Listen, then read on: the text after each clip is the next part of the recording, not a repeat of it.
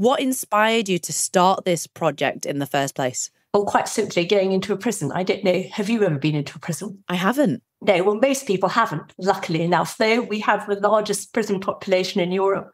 We're edging up towards the 90,000 mark at the moment, which is deeply shocking. Mm. We have accommodation for just over 74,000. So you can imagine the overcrowding in many prisons. Um, I went into a, a prison which is now called HMP Northumberland. It was then a youth offenders prison and adult prison. It's now been subsumed into one prison of nearly 1,400 men.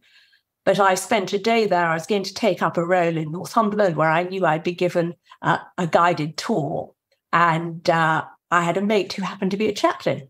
And I said, Can I just come in and spend a day with you? And that day I must have spoken to about 300 men. And the one thing they all said when I asked them what would stop you coming back to prison was work. And I realized there were good things going on in the prison and good things going on outside the prison. But there has to be a bridge between the two.